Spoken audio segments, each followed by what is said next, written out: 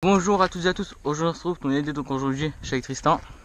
et son Kona Operator que je crois que vous l'avez jamais vu en vidéo et moi je suis avec mon scène Radical S1 donc on va faire une petite DH urban numéro 4 on a deux points de vue, on a celui-là et non t'avais le Bitcoin ou alors c'est dans un edit urban bref c'est bon ouais allez c'est parti